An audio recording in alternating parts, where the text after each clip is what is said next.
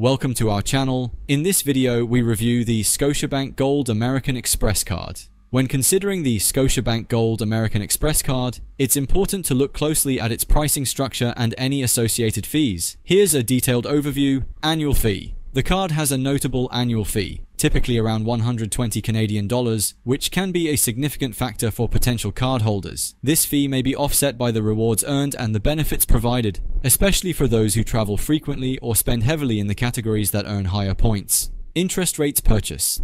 Interest rate. The card features a standard interest rate, often around 20.99% for purchases, which is competitive but should be considered if you plan to carry a balance.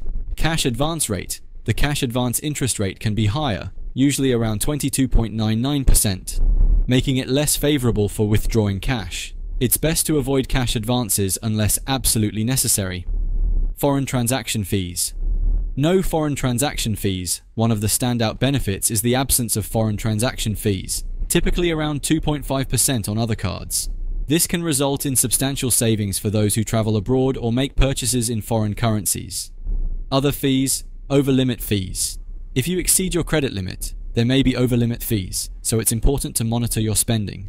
Replacement card fees. If you need a replacement card for any reason, there may be a small fee associated with that service. Value for money.